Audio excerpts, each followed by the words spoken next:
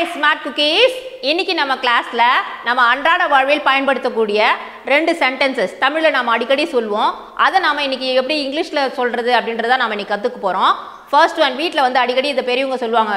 சேரில் உட்காரும்போது கால் மேலே கால் போட்டு உட்காராத அப்படின்னு சொல்லுவாங்க. சொல்கிறாங்களா எஸ் அதை நம்ம இங்கிலீஷில் எப்படி சொல்கிறது அப்படின்னு பார்த்தீங்கன்னா don't sit cross legged on the chair don't sit cross legged on the chair ஆனால் தரையில் உட்காரும்போது நம்ம இந்தியன் ஸ்டைல் ஆஃப் சிட்டிங்கில் இப்படி சப்பலாங்கோல் போட்டு உட்காரோம்ல சம்மணம் போட்டு உட்காரணும் அதுவும் வந்து கிராஸ் லெக் தான் பட் தட் இஸ் ஃபைன் தரையில் உட்கார்றதுக்கு அது ரொம்ப நல்லது. ஆனால் சேர் சேரில் உட்காரும்போது அந்த மாதிரி கால் மேலே கால் போட்டு உட்காராதீங்க அப்படின்னு சொல்லுவாங்க. அது எதுக்கு அப்படின்னு பார்த்தீங்கன்னா கால் மேலே கால் போட்டு உட்காரும்போது நம்ம வெயின்ஸ் வந்து கம்ப்ரெஸ் ஆகி வேரி கோஸ் அந்த மாதிரி கம்ப்ளைண்ட்லாம் வரும் நமக்கு.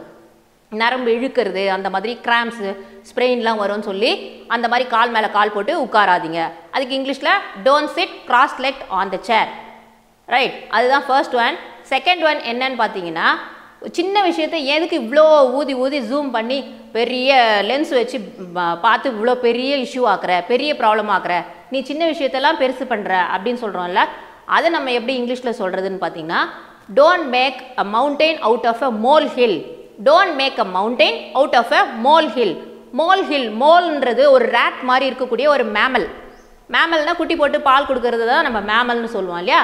ஸோ ரேட் மாதிரி இருக்கும் ஒரு அனிமல் அந்த அனிமல் என்ன பண்ணுறது நம்ம தரையை தோண்டு பள்ளம் தோண்டு பரோ பண்ணோம்ல வலைக்கு தோண்டும் பொழுது தோண்டி தோண்டி கொஞ்சம் மண்ணு தானே எடுத்து போடும்.